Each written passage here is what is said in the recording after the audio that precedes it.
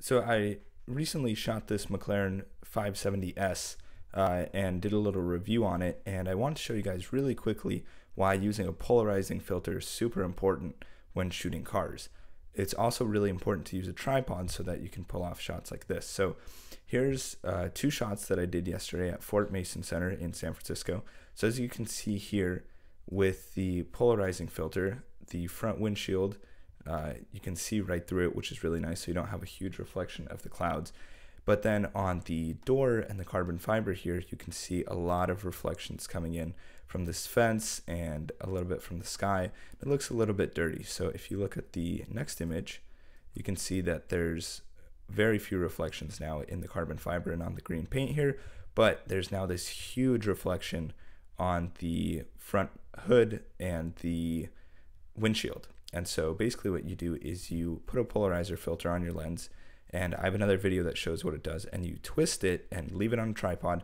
So in this case, I twisted it so that the reflections on the door and the driver's side of the car uh, were eliminated.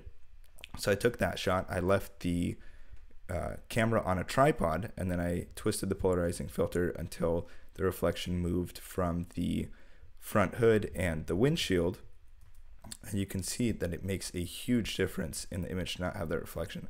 So if I only had one image, I would definitely use this one here that doesn't have the reflection on the windshield. But since I have two, what I can do is put them together in Photoshop. So I've already done the post work here. And if you take a look, I have this original layer here, which is just the front windshield polarized, right? And then I used a layer mask in Photoshop and brushed in the reflection free doors. And you can also see that the polarizing filter changed the lifts back here a little bit because there was water on them and the polarizer does change reflective surfaces. So you can see like right here, there's a huge difference in how dirty the lifts look. And then when I turn on the polarizer, they're very clean. So just a quick tip, uh, if you want a more in-depth tutorial on how to do this, let me know in the comments and I'll be sure to produce one at some point.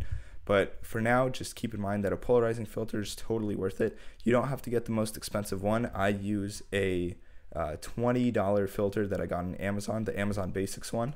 Uh, and it works pretty well. This was shot on my Nikon D800 with a 50 millimeter f1.4G, and this was at f2.8.